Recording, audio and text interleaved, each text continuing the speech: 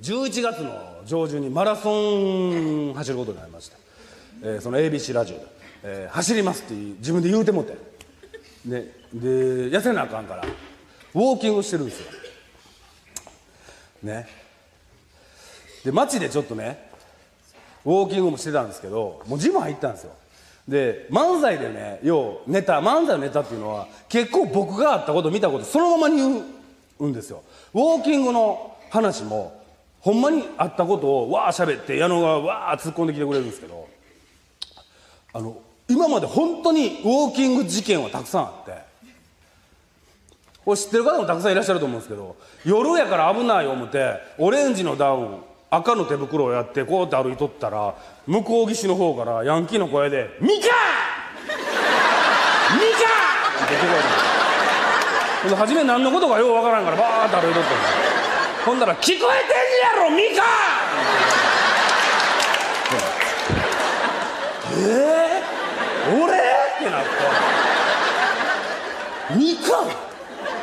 下手？ええ絶対向かんとこう思ってグワー歩いとったら「ミカ!」で変えてくるんです「オレンジ！はっさか!」ほんで唯一立ち止まってもうたんですけど「デコポン!」やろねデコポン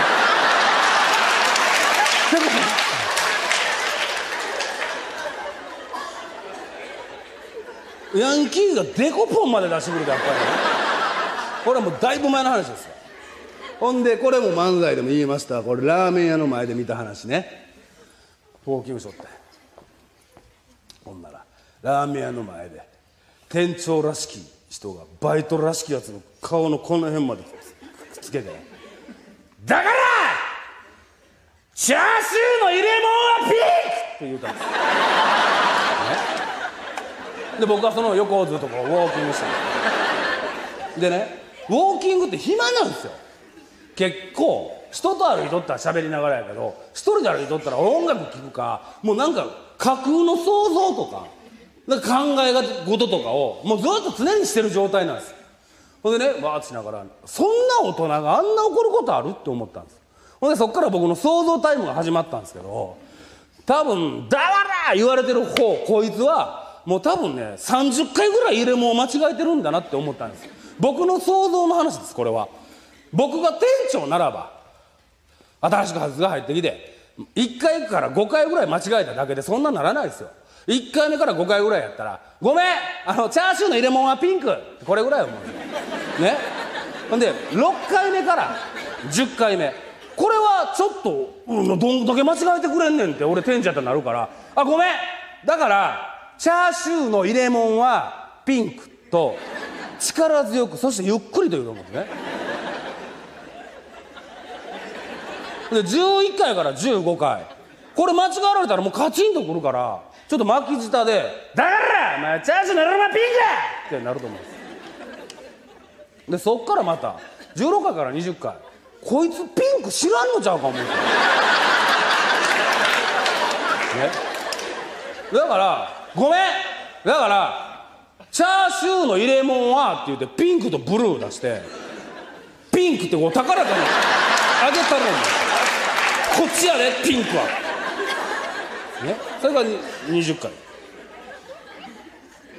21回目から25回目ぐらい。これはもうあかん。もうあかんってなるけど表には出ないですまだ。多分僕やったら。バックヤードに連れて行って兄貴的な感じでちょっと喋ると思うんですよ。あのだから俺らあのラーメン屋やけど本気でやってんねやんか。な。だから遊ぶ時は遊んでと思う。俺もそんな時代あった。な。でも仕事はかっちりやろだからチャーシューの入れ物はピンク。でね。なるわけですよ。ほんでもう25回目から30回。あんだけ兄貴的に言うたったのにまだわからんかってなったらもう感情を押し殺して逆に怖い感じでだからチャーシューの色マンピンクってなると思う。ほんでお待たせしました。31回目だからってなるわけですそんなことをしながら僕はウォーキングをずっとしてるわけです。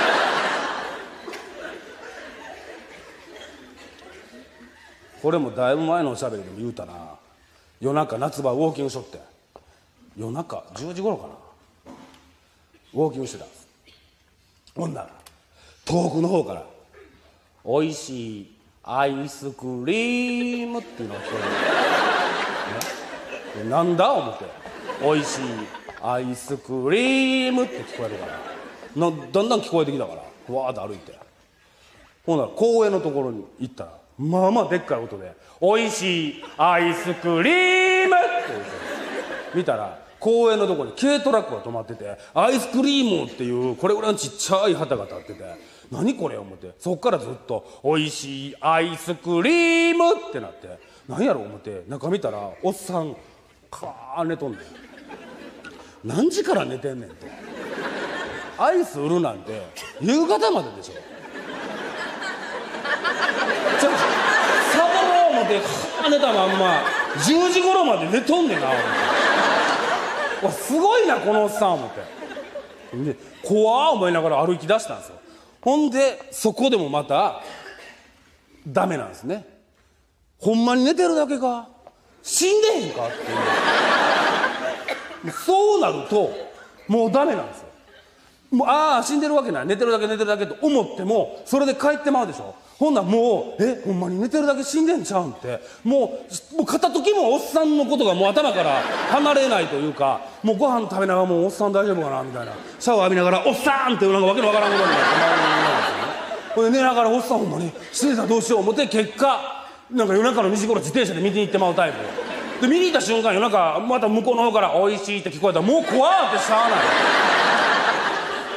どうしよう思って今確認しとこう思って。バーって見に行ったんですよ。ほんで運転席からこう見たら暗いからおっさんが動いてるかどうか分かんないんですよ。息してるかどうか。でずっと見てたらこうやってね運転席の方にこうやって見てたら急におっさんビコンってなって起きよったんです。見てたらおっさんうわーってなってパッて見て俺がこうやってるからわーって中でやってるんですよ、強盗かなんか思ったら知れませんよ。寝起きで俺がこうやって見てるからうわーってなった瞬間綺麗に会うてアイスクリームってなったんですよなんかそういうビームが出てくるかのような。うわーって俺逃げたら警察やるなってわけのわからんこと言われたんですけどそんなことが多々あったんです。ほんでウォーキングの話なんですけどこのウォーキングの話を嫁にしたんです。で今度おしゃべりでしよう思てって言ったら「やめとけ」って言われたんです。それはなぜかというと「あんた人格疑われるで」って言われたんです。でもしたいと。やめとけと。いやしたい。やめとけと。なって。やることにしたんですけど自分の中では。何かというと嫁がねこれはもう人格疑われるっていうのは歩いててゴミメモみたいなくしゃくしゃってなったら落ちてます。拾って掘る。拾って掘る人います。拾って掘るでっていう人。全員見過ごすの。僕偽偽善でも何でもないですけどおったらちょっと掘るんですよ。掘るんですけどそれはええって言うんですよ嫁は。ただ僕のおかしいのは拾うでしょ。見るんですよ。で歩いてて「なんやこれ」って想像して掘るんですよ。嫁が「おかしい。ほんのはええ。なんで見るの?」って言うから「いやだって落ちてるしいらんもんかな思って見るやん」って言ったら「それおかしい」って。僕はまあ言い訳するならばこういう商売やからなんかおもろいこと書いてんのかなプーとか書かれてたらおもろいなとかそういう感じで拾って見るんです。でもこれは絶対見た方が面白いと思うんですよ。だって今までワルタン何個か言うてええですか？レシートなんですよ。完璧鍋なんですよ。白菜かける2豆腐かける1豚肉かける1、しめじかける1ってバーって書いてるんですよ。ただその真ん中にウインナーかける8って書いてたんですよ。うわすごいなって。気合うなみたいなね。なんで8個ウインナーを買うたんだろう。想像しないですか？特にウォーキング途中やったら。僕の結論で言うと多分女性が「お鍋だわ今日」ってこう入れててウインナーの前で考え事し始まったんかなみたいな「わえっとこれとこれとこれとウインナーのとこ行ってわあれ？ヨガ教室いつやったかな」みたいな。2週間ぐらいやったから「ああさってやわ」ってで8個入ったみたいな。ほんでレジ置いてまた考え事してもらって8個超えたら忘れるだからそんな考えをねあと数字だけで言うたらめっちゃ潔いやつ昔見たことあるんですけどパッて開いたら1個だけしか書いてないです。うずらの卵かける10ってなってたんですよ。あのねたまにねおっさんがうずらの卵3泊ぐらい買うてるやつおるんですけどあの10はなかなかない。それで想像するんですよ。自分の中で。家でおっさんがわーっとおって「お父さんちょっと手離されへん。うずらの卵買うてきて」ああ分かった。ガチャガチャ。ガチャお父さんいつものところで売ってるから。分かった。10パターン。小入りワンパックもう聞こえてないんです。よ1210言うとったな。おいこれでいいだで。アホちゃんかこんなもんどないでんねん10個も買うて。アホやで。お前ちゃん言うたやないか。10個入りワンパック言うたやろ。知るかボケ解析これからやわレシートは掘ったわ拾ったんや。ってなるかもしれん思ってそれだけは掘らずにその場に置いていったんです。よおっちゃんが来るかもしれないなっていう意味わからんメモいっぱいありますよ。大抵ね時間とかねなんか計算とかねなんですよ。会社の名前とか。まあまあびっくりするのはあったんはパッて見たら「高木4万」って書いて「円かな?」思ったら「貝」って書いてたんですよ。えってなって4万貝ってなって4万貝何すんやろみたいな。1日1個しても1回しても10年かかるんですよ4万回って。ええー、って。で僕が MVP を差し上げたいメモ言うていいですか。翔太に伝えることって。書いて1京子に電話。2クリーニングを取りに行く。3強く生きるって書いてある。これはもう MVP ですね。落ちてるメモ部門で MVP ですよ。2位と3位のこの開き具合がクリーニングから人生までみたいな。でもそれを嫁に言った時に「あんたもう人格疑われる」って言われてたんですけどもう僕ねそれをねやめることにしたんですそうやって落ちてるもんを見るという。それは何かというとこれねもうねサスペンスの話をちょっとだけさせていただきたいんですけどある九州のとあるところのホテルに泊まった時ですよ。その日夕方で終わるんですけど次の日も同じ現場やから泊まりなんです。でホテルで泊まってました。で大抵過ごし方で言うとホテル戻って7時半頃みんなで待ち合わせして打ち上げ行ってうわー飲んで食べてベロベロになって帰ってきてそのまま寝て次の日行くっていうのが大抵のスケジュールです。で俺もなんかな別に腹も減ってへんしな思って。ホテルの設備みたいなやつ飲んでたんですよ。ほんならジムがあるほんなら行ってみようかな。で宿泊者は「ただや」って書いてるからジャージも貸してくれて靴も貸してくれるって言うか「あそれ行こう」打ち上げ別にええわ。ほんで打ち上げを断ってジムに行って帽子脱いでタオル白のタオル巻いてバーって行ったんですほんでそこね僕が今行ってるジムもそうなんですけどホテルの外周を走れるんですよ。わかります？言うてる意味。あのバルコニーみたいなとこを走れる。ホテル内のジムの横のバルコニーみたいなとこをずーっとくるくるくるくるわかります？言うてる意味。ABC ラジオの時に宇野さんっていう方にそれ言うたらホテルの周り走る思ってたんですよな。んで俺金払ってホテルの周り走らないの？犬やないかそれただの。そこもそういう感じやったんです。んでまあほんならちょっとウォーキングしよう思って。ほんでバーってジャージ借りて靴借りて。ジャージ白なんです靴も白なんですでもジャージ M しかないって言われて。えーってなったけどしゃあない。あのそれでいいです。グッバー。って M 吐いて。グーッ閉めて汗出そう思ってグワー閉めて。で鏡で見たらふっくら炊き上がったご飯粒みたいな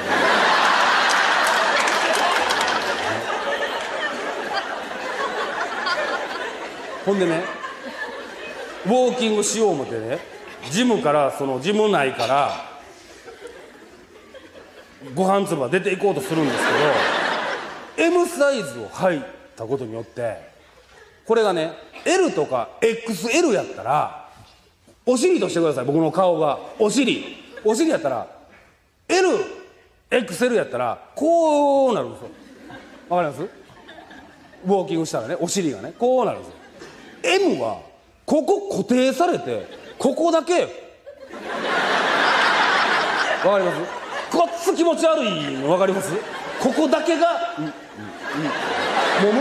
もむ？もむ？もむ？もむ？みたいな感じになって。わ気持ち悪ってなるんですよ。M 小さすぎて。でもまあ頑張ろう。ほんでもむ？もむ？もむ？もむ？ってこうウォーキングしたんです。もむ？もむ？って。ほんで外周出てもむ？もむ？ってこう歩いてたんです。ほんなら1周目ぐらいでまずあかんちょっと水飲みに行こう。水飲みに行って水飲んで。ほんで顔洗ってね。でもう眼鏡ずれるからもう眼鏡も取ってるからピャーって洗って。よし気合入れようって。でもう一回もむもむなんかもうどうでもええわって頑張ろうもむもむって歩いとったらまた2周ぐらい歩いた。ほんで歩いとってほっと見たらなんか髪落ちてるんですよ。さっきまであったんかなかったんか知らないんですけど。あれって急に僕の視界に入ってきたんです。であれって思ってもむもむもむもむもむってジャージに入れたんです。もむもむって。ほんでまあゴミやしね。ほんでもむもむって歩きながらウォーキング止まったらあかんからもむもむってやりながらパッて見たらびっちり綺麗に折られてる紙飛行機やったんです。ほんでそのね紙飛行機がこう書いててここのメモの下のとこにそこのホテルの便箋なんでしょう。そこのホテルの名前が書いてるんです。で誰かが飛ばしたんだなと思って。でもむもむってしながら想像が始まるわけですよ。昔よくドラマドラマでねなんか「助けてヘルプ」みたいな「1008号室」みたいな、まあ、一応ラジオやってるから1008号室させていただきますね1008号ヘルプ誰かのとこ届けしゃみたいな。スンスンおい1008みたいな。そんな飛行機やったらどうします？兵藤さんって自分に思いながらビャーって歩いてたんですほんでまあそっからむっちゃ想像なんですよ。俺が1008の前行って。ほんで「すいません。あのー、クラブサンドイッチをお持ちしました」って言うから。中の単行本木鉢とかが「頼んでええんで!」って言われて。瀬川勝も「お前ちょっと出てこい!」って言われて。ガチャって出た瞬間「待て!」って俺のパンチがもうクリーンヒットして。ねうわ入っていって志賀勝も「もち!」ってやって。でイタチン逃げなさいってなもんでイタチン逃げるみたいな。想像をずっと「もむもむもむもむもむもむもむもむ」ってしながらやってたんです。よほんでまだ大丈夫ですか時間。バッて飛行機取ったらほんまに綺麗に折られてるんですよ。で崩したんです。まあ中何も書いてないんやろうなと思って。でカチャカチャってやってさってなんか見たら歩きながらねさって見たらカタカナで「間死ね」って書いてるんです。ね？何やこれ？おもんな思って。ポケット入れたんです。ほんでバーッともむもむって歩いてたんです。それは助けてくれなんかないわなと思って。もむもむってなって歩いてたんですけどだんだんまたそのいろんな想像してきた時にトイレにね「誰々死ね」って書いてても別に気にならないんですよ。いたずら書きというので。ホテルでホテルのメモで「間死ね」って書いて紙飛行機で飛ばすって。怖っって一瞬思ったんですほんでねえなんやねんこれなんかええ1008ヘルプとかそんなことどうでもよくなってきていやこれめっちゃ怖いんちゃう？ってなって。俺がもしそれ書いて飛ばした人ならばですよ。客室の窓とかもこっち向きにあったりしますから。俺が飛ばしたならばもむもむって考えてピャって投げた飛行機どこ行くか見てる思うんですよ。もうもう死んでほしい人の名前を書いて飛ばすわけですから。でわーって行ったらだ外周のとこパサッて落ちた。で人も何も走ってる人もいらっしゃいますからね。うわ。お俺やったらねうわ。走ってる人のとこ行ってもた。パッパッパッって走ってう誰も触れへん。でこの辺から「もむもむもむ。なんか来よった。ご飯粒来よった。もむもむもむ。うわあいつ拾いよった。ならないですか？誰でも入れるジムですよ。宿泊者は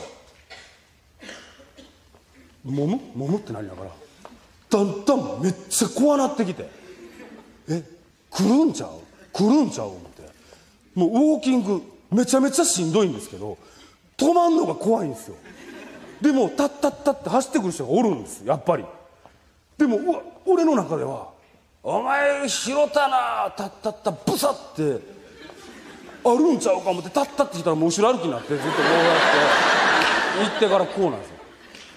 怖っ怖ってなってもうずっと止ま立ち止まんのが怖なってきてふわー思ってもう飛行機戻してあったとこ掘ろう思ってこうやってもう歩きながらやから飛行機全然折れないんですよ。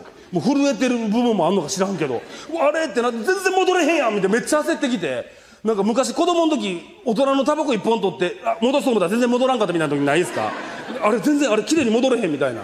でグーって押してギュッてやったらなんか他のタバコ普通やのに戻したやつだけなんかテンション上がったクリオッショみたいになってるみたいな何これってなってああ大人来るみたいなノリになって怖い怖い怖いってなってもむもむもむってしながらもうええわ思ってパン掘ったんです。掘って掘ってみたら走ってくる人がおるんですけど僕掘ったん見られてるからあれなんかあの人掘ったな思ってパッと見て「間死ね」って書いてたら「あいつ何書いてんねん」ってなられてもう困るって2秒ぐらいで思って「ももももももも」って戻って「もももももも」ってなって「もももも」ってまたやったんです。もう汗ダクダクなってきて。でもこれフロント行こう思って。もうフロントが絶対フロントでええわフロントに渡そう思って。ほら僕なんかされたとしてもフロントの人があの人なんかって誰か一人でも分かってもうてる方がええわ思って。もうなんでこんなん拾ってもったやろって思って。ほんでもうバー入って速攻着替えてあ洗濯やのに着替えて。んでもうフロントに向かうわけですよ。で結果から言うと相田常っていう人の名前を書いてただけのメモ用紙だったんですけどでバーって行ってで深呼吸して。だミスター七さんみたいな人がおって「どういたしました?」みたいな。僕は死ねや思ってますからね。出して。ここではちょっと。橋行きましょうか。ねミスター七さんも「あはい」みたいな。あんま大きい声でもあれなんで。これホテルの事務の外周に落ちてました。これこの状態ではありません。飛行機として落ちていました。中見てください。西さんこうやって見とる。はい。相田常様ですか？っていう。ち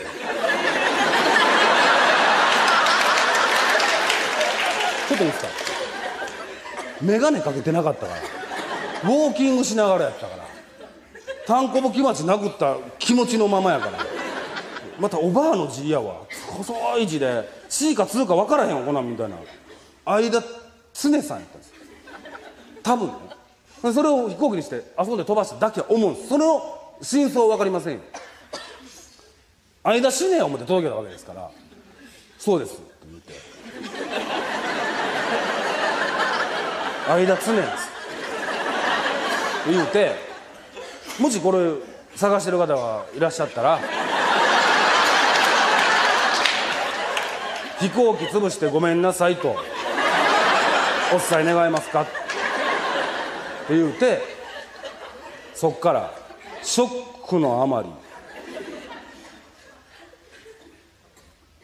一言も喋らんと次喋った第一声までを見てもらっていいですか？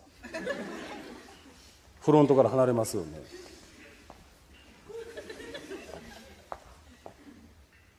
チーン。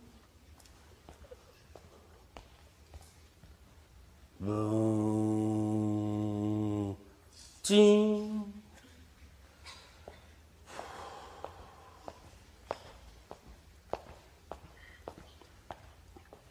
ガチャガチャガチャチカチカチカ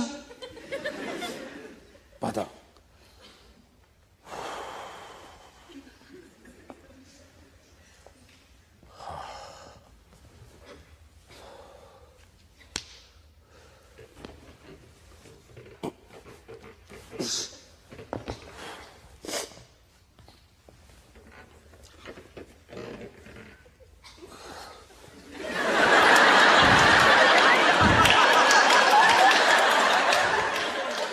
滑ってないやねん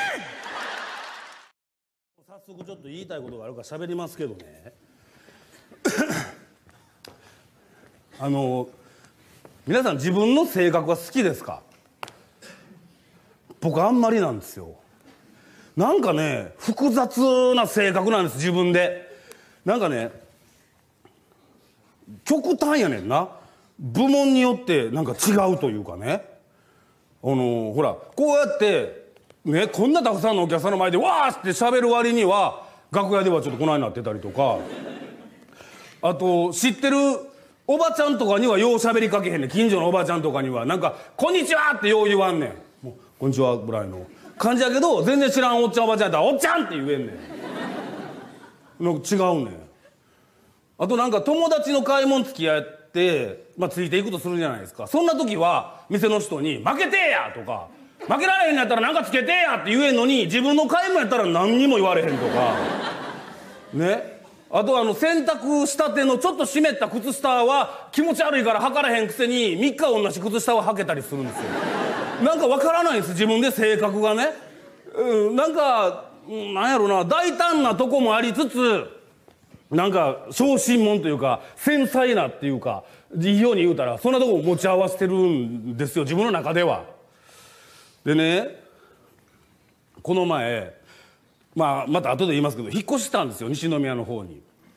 ほんで西宮から市内に電車で入ってきて市内からタクシーに乗り換えて現場行くとかっていうのようあってでその日はある駅まで来てタクシー乗って新大阪まで行って新大阪から新幹線乗り換えて、えー名古屋に仕事に行くんですよでその駅で降りた瞬間に改札出たらボーイスカウトっていうんですか？10人ぐらいの子たちが箱持って「募金お願いします!」って一人が言うたら9人が「募金お願いします!」って言うてるんですでこれ偽善でも何でもないんですけどいいように思われるとかじゃないんですけど僕そういう時はもう金額の大小関係なく入れようと思ってるんですなんかあのほらいいもん食べてるとかええもん車乗ってるとかそんなんじゃなくてなんか心配もなくその駅にちゃんとこうやって歩いてこれてる感謝みたいなのを金額はそんな入れないですけどなんか入れる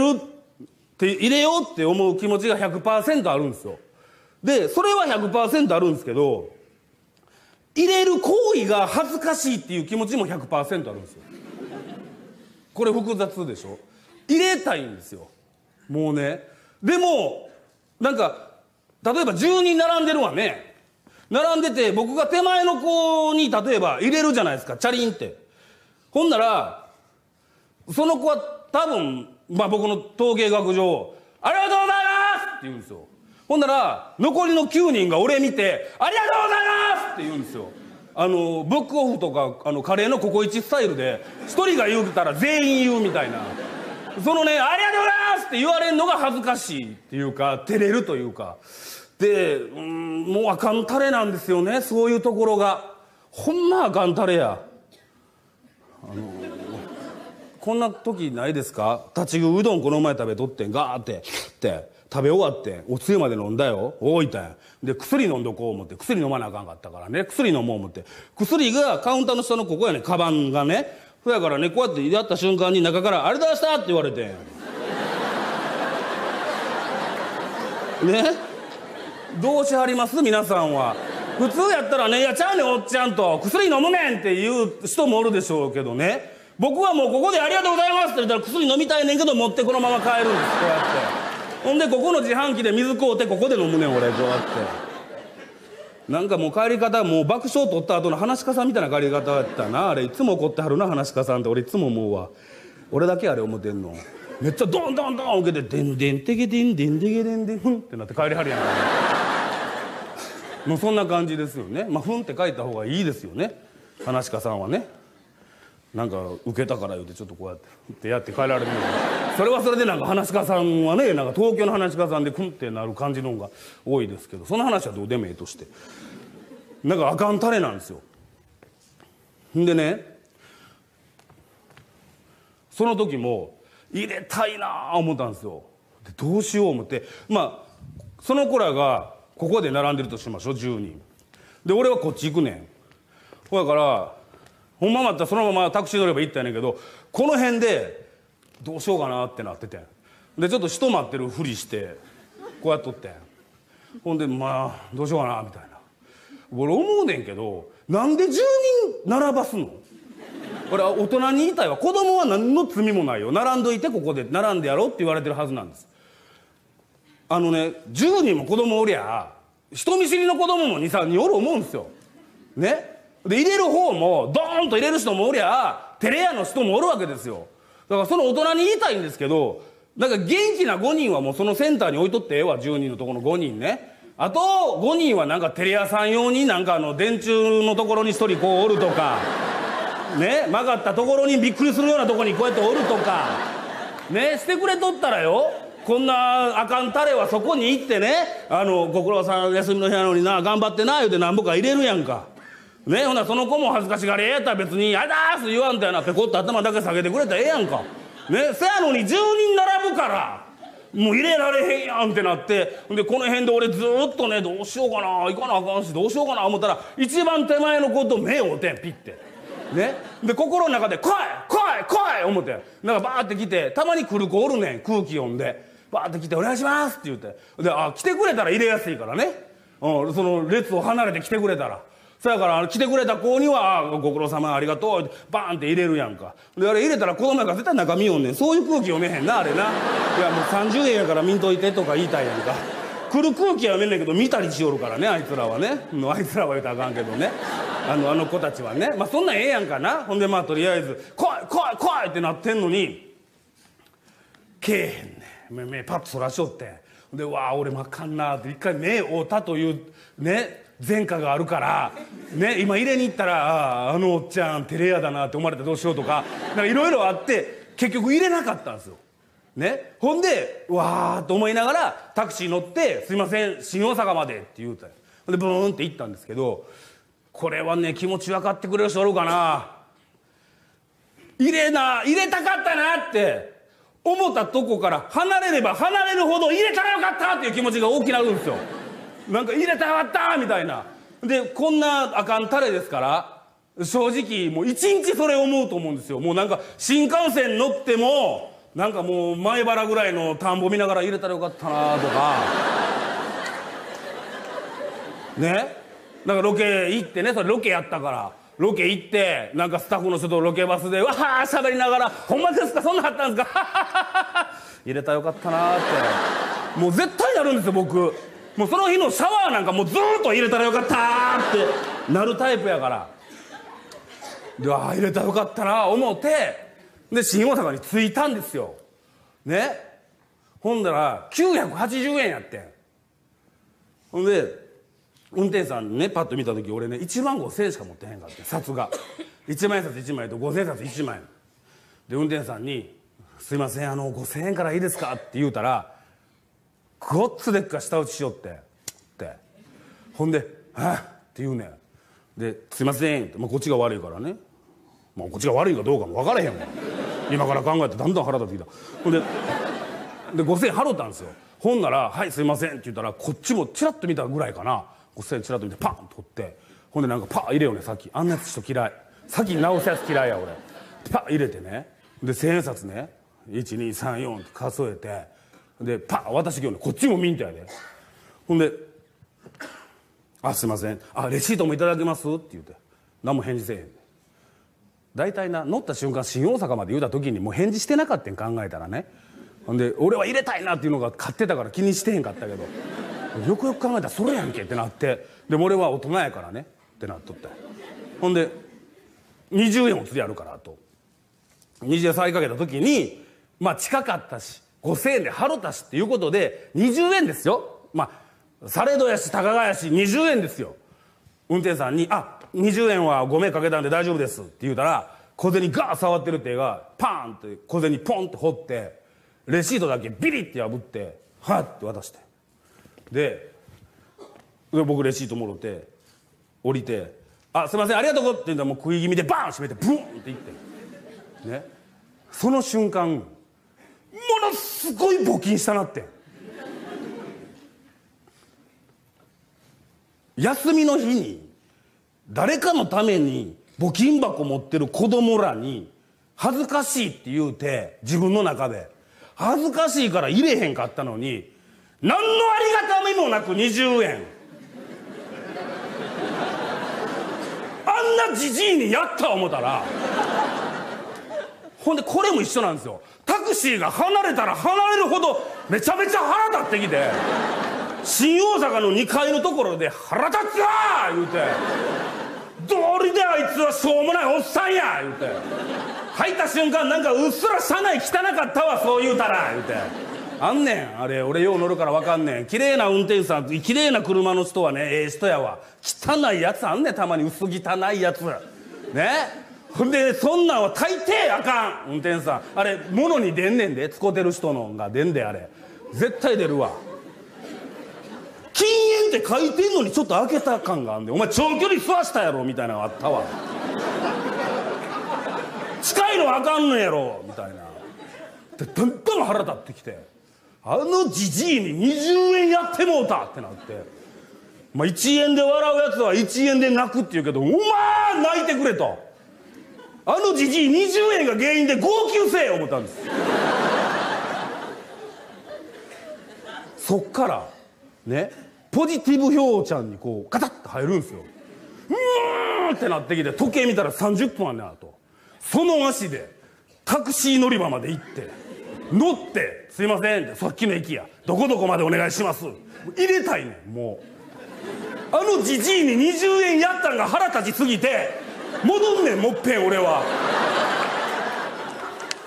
駅に。でもう1000円入れよう思って。1000円だけ出して。で運転手さんその人は一緒やった。運転手さんに「僕そこで用事があるんです。すぐ戻ってきてまた戻ってきますんでお願いします」「分かりました」で俺1000円持って絶対入れると。あの目をた子供に入れよう思って。ほんでもし全員がね「ありがとうございましたありがとうございました!」って言われたらその倍ぐらい大きい声で「どういたしまして!」って言うたろ思ってもうポジティブモードに入ってもうてるから俺。ふわーってなってほんでブーン車で行くやんか。ほんでまあ着いてん。もう急いでるやん。でバンバン開けてでバン閉めて「待っといてくださいね」言うて。で俺こっちの商店街入り口から入ってくんねんだ。でね目合うた子がもうおったんが大体この辺やったわ。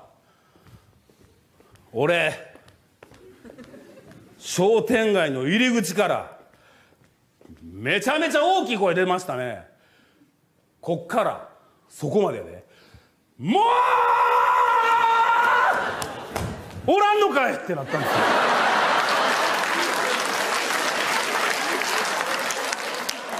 帰っとったんですよ。ってなりながら。タクシー乗って新大阪行ったんです。そっから何やってあの2000円ってなって往復の。何の意味もない2000円けってなって。入れとったらよかった思って初めに。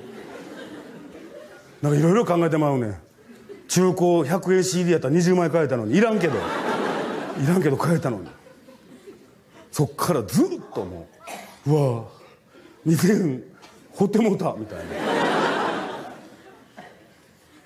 もうそんな性格が嫌でね。いっつもねネガティブなんですよ。なんかネガティブな人ってちょっと気になることがあってあその前に「わし俺私ネガティブだよ」っていう方いらっしゃいます？結構おるな。ありがとうございます。ネガティブな人ってないことを想像してブルーならないですか？なんか一個ちょっとふわって心配事出んねん。で自分の中でドラマ始まんねん。でこの辺まで話いってここでごっつブルーなんねん。何もないのにやで。で大抵何もここ起こらないのよ。でも考えるというなんかでもうものすごいブルーなんねん。でこの前や。九州であのクラブ一店飲み屋さんお姉さんに直し方がある言われて「え？えってもしあれやったらやって」なんか癖作んねんって一個。なんかブルーなこと考えた瞬間にすぐできる癖を作んねんて。例えば眼鏡かけとってあげるとか耳触るとか。なんかうわわって触ったらあかん考えてる。やめ。リセットすんねんて。そうするとなんかもう考えへんようになんねんて。で「あそうなんや」俺もやってみるわ」って言って次の日からやるわ。俺もなんかブルーになったら鼻触るわ。言って。で次の日からブルーなことがあったら鼻触るようにしよう思って鼻触っとったら2時間ぐらいで鼻真っ赤っかになったんですよ。どんだけ考えてんねん俺思って。あかんわ。ああオフオフってなったらもう触りすぎて真っ赤っかになって思ってねこれをちょっと直したい。今何の話してるかよくわからない。性格っていうのはね。ようなんやろな。治んのは治んねんな。だからそっから鼻は赤なるけどずっと鼻触ってるんです自分で。ほんでやっぱちょっとオフになる時とかあるんですね。でも今後ねやっぱり頑張って生きていかなあかんねんから。ちょっとしたことぐらいでブルーになっとってもね。でも募金は入れよう。もうその瞬間にもう恥ずかしいとか関係ない。パッて入れよう。ほんで薄汚い車内のタクシーの運転手さんには20円あげない なあ20円やけどな。気のもんやんか大きに言うてくれたらと思ってなんのになあと思う。でこんな性格やからね。俺も頼んないなあと思うんですけどこの前最強に頼んない人見つけてね。あの滝打たりに行ったんですよ。人生で2回目。あの1回目だいぶ前ですね。去年一昨年ぐらいの2月ぐらいに打たれに行ったら去年の年末ようかまいたちの山内がネタにしてくれてたんですけど僕はプライベートで滝打たれに行ったんですよ。こんな性格やし。ね。でなんか話のネタもなんかあるかな思って打たれに行ったんですよ。まあそれは過酷でした。ね。ほんでかまいたちとジャルジャルと藤滝マーケットの方相方ずつがなんか罰ゲームがあったらしくて滝打たれに行ったんですって。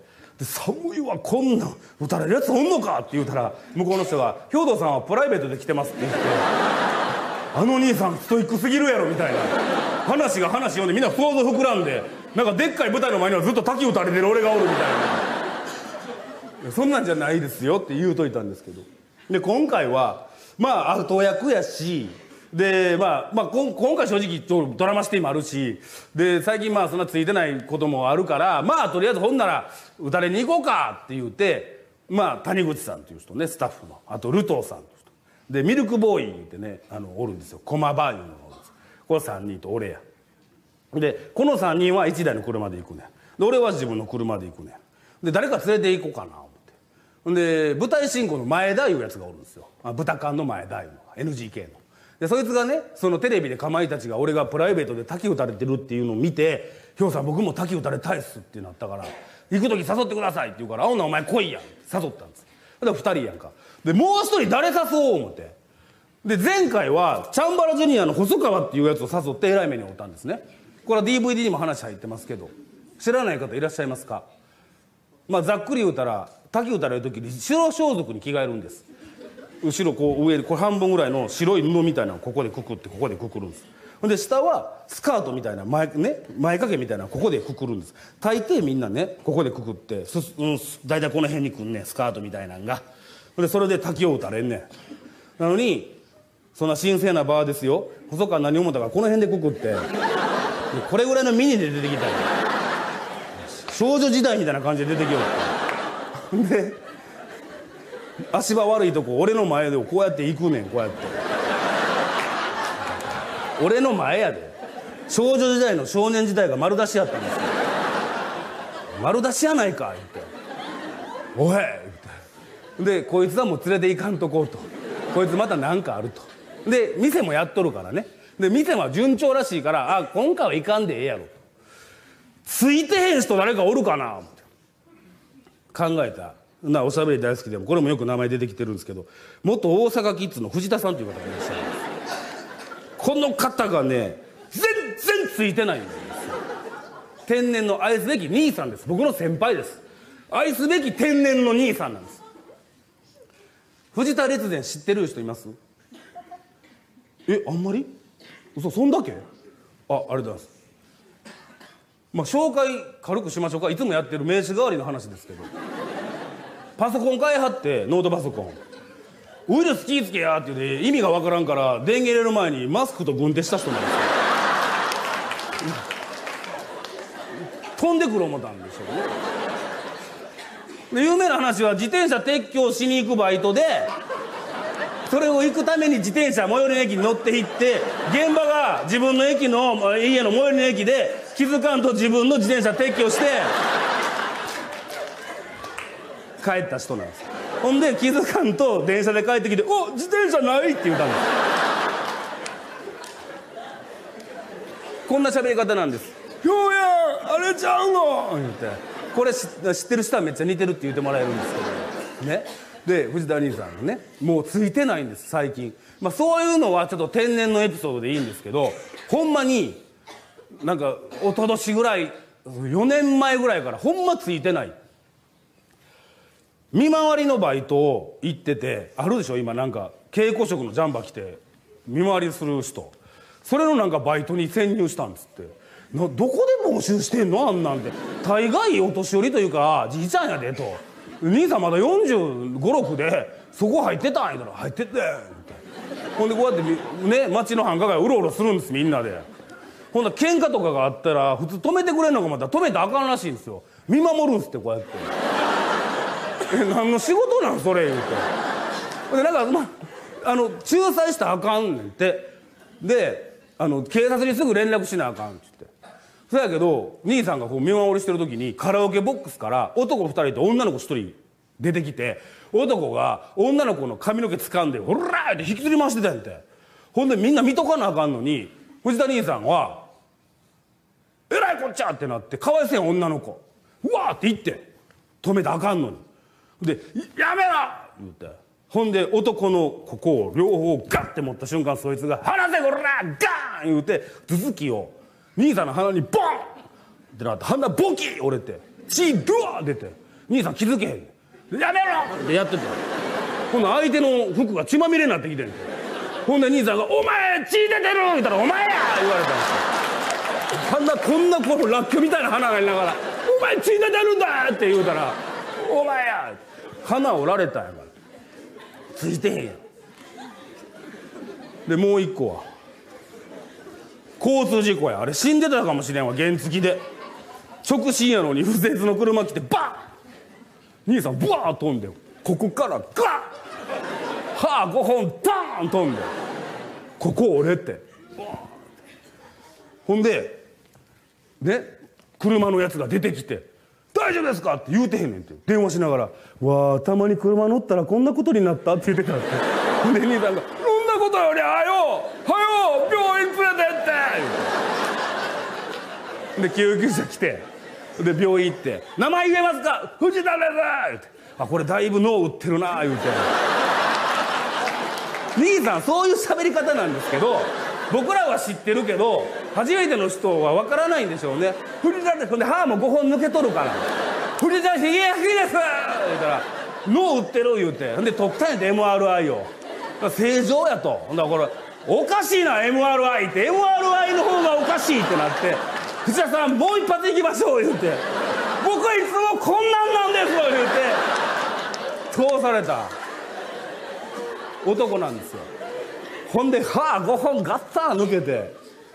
ね5本ですよ歯が。歯5本抜けたねかわいそうに。ほんで病院運ばれたんや。で初め39人部屋いうとこ入れられかけたんや。どんな病院や言うて。野戦病院やないか。ほんでこれは勘弁してください言うて9人部屋に入れられたんや。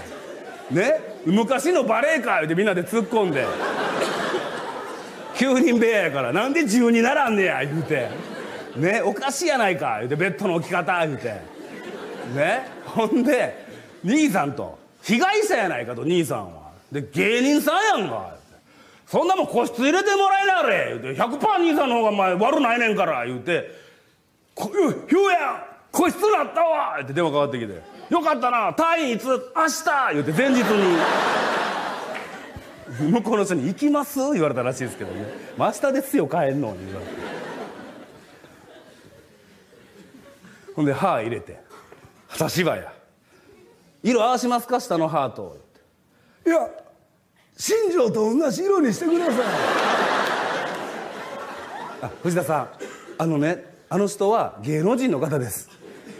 藤田さんなの一般の方はってまあ一般の方って言われてしまってるんですけどね。あんな白すぎます。でも兄さんは新庄が憧れやってんてその時「入れてください!」言って。ここだけチョークみたいな白い歯なってん下真っ黒やのに。笑ったら白いのがうわってマウスピースはめてるみたいな。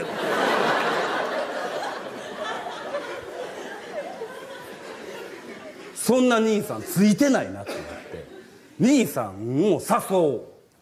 で携帯電話で。メールして「兄さん。今度滝に行きますけど。滝に打たれに行きますけどどうですか?」って入れて。ほんならいつ俺いつも思うのあの返信の速さ。俺ずっとこうやって見とるんちゃうか思ういつ打っても20秒ぐらいで返ってくるんだよ返信が。ほんでパッて開いたら「最近打たれてないから行くわ」言うて「お前ほんまに打たれてたんかい」言うて。から僕のお願いっていうか僕行きません言うたら絶対来てくれるんですね。ほんで「な行きましょう」言うて。当日や。そのルトーさんとかね谷口さんとかミルクボーイとかはまあいいい実際で行くねん。で俺前田と藤谷さん待ち合わせの場所言うてそう車迎えに行ったんや。立ってんねん2人も。前田はあのカバン持ってこう立っとんねん。ねわかるやん。バスタオルとかタオルいるからね。藤田兄さん手ぶらや。あ立ってんねん。で初めいやほんまにめっちゃ打たれてて慣れてる人なんかな思って。ね？もう俺手ぶらでええしみたいな。海外旅行なんかポーチだけで行くみたいな。滝なんもいらんやろみたいな感じなんかな思って。ほんでまあねもう左ハンドルですから藤谷さん助手席乗して後ろに前田乗せたんや。ほんなら「兄さん手ぶら?」言うたら「あ俺手ぶらやで」見たらわかるけど」えタオルとかは?」えいんの?」言うから「いやめっちゃ打たれてるんちゃうん」「うん初めて」いやタオルいるやん。えなんか積んでないの？それお前温泉やないかい。滝修行やねんと。温泉ちゃうよ。ってもうしゃあないな兄さんと。俺の俺が半分使って半分渡すわ。で車でバーって行っとって。すごいなあの人って。もうちょっと前出そうか。いや俺なあの人はほんまに俺その日一日でこんなどえらい人が身近におったんやって思ったんやけどバーって車で行っとって「兄さん今日バイトどうでした?」って言ったら「あ休んだ」大丈夫?」え？言うから「いやそれ急に休んで「あ全然大丈夫やで」って言うた直後にピリピリピリって言うて兄さんのね電話がほんで「あとかはい藤田です」言うてから気持ち悪いです。携帯の出方。これいかにしたいんですけど「はい藤田です」って言うんですよ。ああ言うて普通にしたらええのにね「はい藤田です」でなんか後で聞いたらお友達やったらしくて兄さんの。でねその話した直後ですよ。兄さんがね「ああ今日バイトちゃうんねん。うんうん。多分クビになる」って言ったんですよ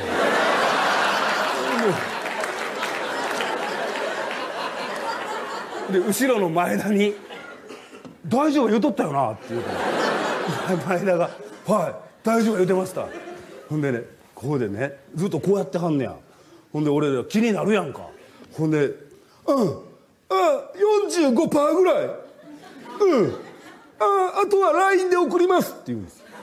えなんやろな「えあそれあナンパしたんちゃう。ナンパされて。うん。また LINE で送ります」って。気になるあと全部 LINE で送りますなんめっちゃ気になるやん言って前田と。で電話切って。ね？兄さん事情聴取やと。まずバイトクビになるんやったらええのに言うてこんでもって言うたらちゃうねん表やんと。実はその撤去のバイト行ったんですけどこれは別にいつ休んでも認めてくれるんですって。でもう一個新しいバイトを始めたんですって。でそっちがやばいと。で何のバイトしてますんって言ったらアマゾンの倉庫で働いてるって言うんですよ。ね？で俺「ええー!」言うて大概注文するけどアマゾンで働いてる人初めて見たわ。だフリーメイソン見つけたぐらいのノリやで。なんかこううわーってなった感言うて「えほんまうん」言うて。ほんで「えなんでクビなんの?」って言ったら兄さんの説明です。で説明ですよ。兄さんの説明ね。ね。大丈夫？びっくりした。一話前でごっつ寝てはんねんお疲れ。大丈夫？大丈夫？どっから聞いてなかった？ちょっとやり。あ LINE してたぐらいから聞いてない。ちょっと落ちた時に俺が声かけてるまだほな大丈夫大丈夫大丈夫。寝てええんやで。大丈夫や大丈夫大丈夫。一番前撮ってんねんから。やる気あんのかないんか分からへんから大丈夫大丈夫。ちょうど俺も休憩したかったから水飲んで。ほんでねアマゾンってなんかどこまで言うてんか分からんけど堺の方にでっかい工場あんねんて。ほんで兄さんはバーコードみたいなのを持って待機してんねんて。ほんでピピピって言うたらそのバーコードに商品がね皆さんが買ってはるような僕らも買うてるような商品をその工場から取ってこなあかん。取ってベルトコンベヤー乗せてやんねんて。向こうにやる取りに行く仕事やねんて。ほんでピピピって言うてパッて見たら CD っていう商品名は出んねんて。ほんで品番かなんか出んねんて。P の例えば2とか。ね。その P の2をちゃんと覚えといたらいけるらしい。で兄さんはピピッピッ CDP の2って言うてまず普通の人は P に走んねんけどどこが P かも分かってないからとりあえず走んねんて。P がここであっても。でまずその P のラインを見つけるのがだいぶ時間かかんねんて。ほんで P のラインに行きました。ほんで例えば CD で「モーニング娘。」とかやったらなんか分かんねんて兄さん。ね？ほんでパッと「これちゃうか?」思ってピッて押したら会うてたらピッて言うねんて。間違えとったらピーって言うねんて。ピッてでそれをまた持っていってベルトコンベヤーに置くねんて。ね？日本語はええねんて。兄さん英語読まれへんねんて。レイ・チャールズとか来られたらもう終わんねんて。まずレイ・チャールズのとこ行くまでがもう分からんかって。レイ・チャールズって CD 鬼ほど出てるから。で英語読まれへんから片っ端から当てていくねんて。ピーピーピーピーピー。でラッキーやったらピッて言うねんて。おおこれや。ラッキーじゃなかったらもう最後の方にピッて言うねんて。ね？でそれを集める仕事をしてはんねん。藤田さんが最近。何のあれで入ったか分からへんねんけど。で普通の方ね普通に普通の方というかまあ藤田兄さん以外の方はもうバーってやりはねんでピッて。でノルマがあって大抵98%ぐらいをクリアしはんねんて。ほんで向こうの方に目標設定してくださいって言われるんですって。ほんならみんな100%目指しますじゃあ頑張ってくださいって言われる。藤田兄さんは45%しか達成してないのでまず訳のわからんとこ走る時間無駄やわね。レイ・チャールズでピッピッ言わしてる時間が無駄やから達成率が45%やねんて。で張り出されんねんて。藤田茂明って言ってピンクのラインガッサー引かれて45%って書かれて藤田さん何パー目指しますかって言われたら兄さんはじゃあ50でって言うんですって。で向こうの人が「いやあかんあかん」言って「50目指されても困るんです」あの100目指してもらう「いやでも僕そんな自信ないんでまず50で」って言うて言うてね言い合いになるんですって。だからその45%やからクビなると思うっていう電話やってる。そんなもん LINE で送らんかって言うたらよろしいやんか。どうせ言うんやろ俺に聞かれたら「うわ」言うて。ほんでさっきのあれなんなんやて。ナンパされたんちゃうええしたんちゃうされたんや。誰何いやこの前なニューハーフの人に声かけられて。歩いとって。でそれを見られてナンパした言うからナンパされてんって言うてん。ええいやその後は何もないでって何も気になってんわ別に。あそんなんやって。うん。でバー車で。兄さんすごいなほんま。ちゃんとなんか兄さん俺も見てたらなんか俺も力になられへんけどなんかもう兄さんの生きていくサポートしたなるよな。なあ前だいやでも面白いです。芸人さんとしては面白いですねやっぱり。おもろいな。で「なあ兄さん」って言いながらバーって言っとって。ほんで俺心の中でね今日兄さんがどんな動きするかっていうのをちょっとチェックしとこう思って。あんまり見たら気にしはるからね。なんか見られてると思って。ちょっと挙動不審になりはるからもう全然見てへんふりしてちゃって見たろう思って。もうねすごいわ。滝に着いたんですよ。ほんで滝の横に小屋みたいなのがあるんです。仮設でもないけどな小屋がある。そこに棚がザーッとあってそこで着替えんねん。でみんな何人か先着替えて出てるわな。で俺と兄さん入るわな。普通大人の着替え方は上脱いで上の白装束くくってで下ズボン脱いでスカートみたいなのをくくってパンツ脱いでフルチにならなあかんからね。パンツ脱いでこのままやんか。ね？普通大人ってそんな着替え方なんです男は。で俺もこう上だけまず脱いで結んどってほってみたらもうフルチンのまま立っとんねん。もう全部脱がなあかん人みたいで。ね？もうなんかややこしいねんって。脱いではキー脱いだけどここはまだ残しつつマキーの。また脱ぐのもうわけ分からへん。もうちょっと全部まず脱ごうよってなる。んで脱いでまずこうやって立ってはんねん。でこれな一番びっくりしてんけど細川がここで巻いたやつ。ね？兄さんどうした思う？着方教えへんかってね？で横目で見とったんほんならフルチンで「あー」ってやってパッて撮ったのがまずそれやったんや。むっちゃ見てんのこうやって。一瞬こうしたんや。マジやろ。一瞬こうしたんや。嘘やんってなって。細川以上やってなって。結んでマジやろいやそんなんで出てこられたら終わるやん。パタパタパタパタってなってフルチンのおっさんがパタパタパタパタなって。結界を張りますって言われてパタパタパタ背中に「イエイ!」って入れられてパタパタパタパタ言いながら滝に行くなんか。俺終わるやん。悪とあかんからねそんなとこで。めっちゃなびくやんか兄さん!」って言って「あっ!」て言うから「した!」っていう意味で指さしてほんだら結んだパッと離して「えっ?」ってやる見てへん見てへん違うと「ひょうやんひょうやん!」って言って「ひょうやんもう!」っていういや下に下にああで上来て。で行ったんや。で滝や。4月に行った。薄い最近です。ね。この前2月死ぬ思て。もう水にポッと足入れただけでバキーンってなんで体が。冷たすぎて水が。で4月やから行く前に谷口さんとかルトーさんとかともうなんか水浴び気分ですねっていう感じやって。あったかいし。こんな山の水ってえぐいな。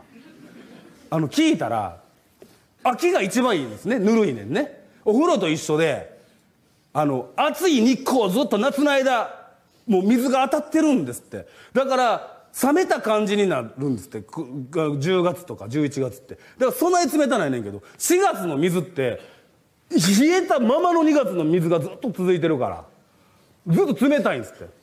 入った瞬間やもう「いたたたた!」ってなって全員で「あかんこれやばい!」言うてグワー入っていって。ほんで滝あんね滝にチェーンあんねチェーン持ってこうね滑らんようにチェーン持ってこう手合わすね入ったら。ほんならお坊さんのね方が「お経言うてくれんねん。その間ずっとここで耐えんねん。これがしんどいねん。もう全員言うとったわ。一発目入ってバーって来た時に過呼吸なんねん。もう冷たすぎてバカってなって「ふうって。出ようってなんねんけどみんなが「頑張れ!」ってなってるから耐えれんねん耐えんねんしゃあないってなんねん。もうみんな言うてた。ら一回過呼吸なんねん。ほんで俺兄さんに「兄さん」って「次兄さんやで」って。こんなねもう冷たいとこのもうその川いうのとこにはもう入ったままやねん。終わろうが待とうが全部そこで全員が終わるまで待たなあかんねんそこで。でね兄さんこれお願い事をしながらやった方がええから。ねお願い事した方がいいよって言うた。ほんなら「ほんな俺も怪我ないようにするわ。お兄さん行ってけやあれ」で兄さん行ったんや。ほんでガーッと入ってチェーン持ってガーッやってんねんけど滝ブワーなって何にも見えへんのに白い歯だけがガーッ映ってんねん。怖いで「あ小屋街ですかこれは」というぐらい「歯だけ出とんねん」わあ言うて。ね。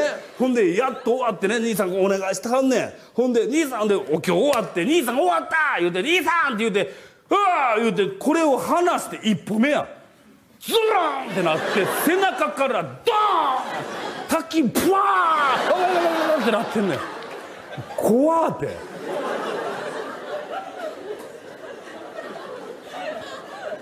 怖い。今まで。怪我がないように怪我がないように怪我がないようにズンドン怪我。神様何と。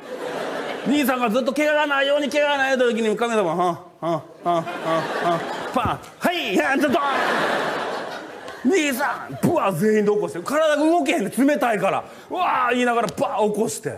ほんでとりあえずなんかもう水じゃないとこ言うたらなこうちょっとだけ砂利がこれぐらいのとこがあんねん。水が入ってそこの岩場のこの辺にちょっとだけこれぐらいのスペースあんねん。でそこで足一個だけ置いてフラミンゴみたいにこなして立っとんねん兄さん。大丈夫だ腰ない。言うて大丈夫かいな。いほんで俺もね一応お願いして。ほんで出よう出よう。言うて兄さん担いで出て全員で。で「大丈夫兄さん」お大丈夫大丈夫」言うて。ほんでみんなで「目寒かったな」言うて。で着替えて。で出ようかな思ったらみんな着替えてんねんけど。兄さんだけボトボトのままガタガタ言うて俺の方見てんねん。しまったタオル半分かす言うてた思って。覚えてへんやんそんなん。寒いから全部つこ止めてボトボトやねん。唯一乾いてんのが四隅のイカの頭みたいな部分しか乾いてるとこがないのよ。で兄さんに「すんません兄さん忘れてた」言うて「この四隅しかない」言うたら「うわそれで十分やで」言うて芋洗い坂係長みたいにずっとこのデコでこうやって拭いてはんねんこうやって4つに分けて部分部分を。もうその時にわこの方って生きづらいなあ人生的にと思って。後輩やからね。先輩やから別に吹き出した時に「ひょうやんごめん後で貸してな」って言うてくれたらええやん。優しすぎんのかな？言わへんねん。待ってんねんずっと。えこれ大丈夫？思いながら。ほんで次ごま行しよう言うて。ね？お坊さんがお経をやってくれんねん。でここに木がこうやって組んだんねん。そこに火バーンなって火がボー上がんねん。あの金本とかがガーやってたな昔。あの新井とか阪神のガーやってはった。そこのごま行すんねん。そのごま行でね札買うねん。買うのおかしいけど。3000円ぐらいのやつがあんねん。3000円5000円1万円だけど3000円や。ここにバーって書いたんねなんか達筆な字で。ほんで上にか商売繁盛とか家内安全とか心願成就とかなんか悪霊退散とかなんかいろいろバーここんなん書いたんねメニューみたいなのが。でそっから2つ選ぶねん。選んでそこ行ってお金払って兵道ですが、えー、僕の場合は家内安全、えー、心願成就お願いしますって言ったらそのお札の裏に家内安全心願成就って書いてくれはってそれをごま行に持っていく。ね、ほんで火がバーってなってるところの煙をこうやって当ててそれを入れてくれはって紙袋に。でそれを持って帰って家に置いとくと。ほんで1年間これで守ってもらえるみたいで僕は家内安全と心願成就ですよ。藤谷さんずっと並んであんねや。マジやでこれ。行って。お坊さんですね。こう受付してあるお坊さんに「藤田です。漫才をやっていましてコンビを解散したんですけど今ピンで僕だけが残りましてね、えーなかなか面白いネタも自分では書けないのでどうしようか言うて今考えてて結婚もしたいんですけど相手もおるっちゃおるんですけどうんでも生活が今あんまりできないもんで。でずっと聞いてて兄さんと。板真っ黒毛になるわけ。側面も使わなあかんわもう上のね四文字熟語みたいなのあるやん。あれから2つ選ぶねん。あ見たあんねん。もう読めるやつよろしいやん。言うたら命乞いって言うたんですよあるなあの橋あるな言うて。いやもうこれ家内安全とかあるやん兄さん商売繁盛とか。もうええわ心願成就にしなはれ言うて。ねで兄さん心願成就1個だけにしたんや。ほんでごま終わってこうやってねごま座ってこうやって。でこうやってやってくれはんねん。煙つけて。で袋入れてくれはんねん。ほんで帰ろうか言うて。ほんなら立派なお寺なんでねすっごい高いあの像っていうんですかこんなのあったんがあるねん。もう俺らがこれぐらいとしたらもうこれぐらいのが立ってあるね。ね？それ見てすごいなあ思って。で俺1年前のね2年なんのかな？家にずっと飾ったままやったからそれを普段のとこ掘って。ほんでジュース飲んでなんやしてトイレしてもう大阪まで1時間半2時間かかるでっつって。ほんで帰るで言って。ほんでまあ女しまたお疲れ様でした言うて前田と藤谷さん乗せて帰って。で滝すごかったよな言うて。兄さん腰大丈夫？ああ大丈夫。で前田も前田がもう滝なめとったらえらい目に遭いますねみたいな。そんな話して。でまあごまもしたしで1年まあこれであのまあ守ってもらえると思って頑張ろうや言うて。ほんで集合場所やったとこに着いてほんなら僕も帰りますんででそこで2人降りて「お疲れ様でした」って言う思ってパッと見たら前田はカバン持って白いの持っておんねあの札入れてるやつ。兄さん何にも持ってないねあれ？言うて。車内見て「あれ?」言うて「兄さん！うん札は?」って言うたら「表やんが収めてたとこに収めてきた」言うて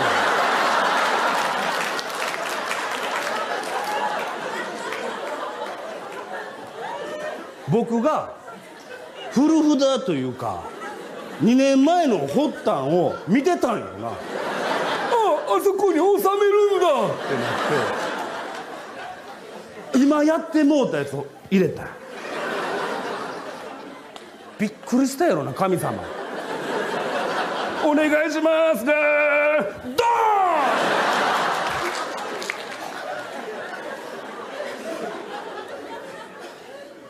ン！まあええんちゃいます？言いましたけど。ちょっと藤田茂明はこれちょっと注目株ですよ。今日も来てるんですかね？来てないか。おらんか。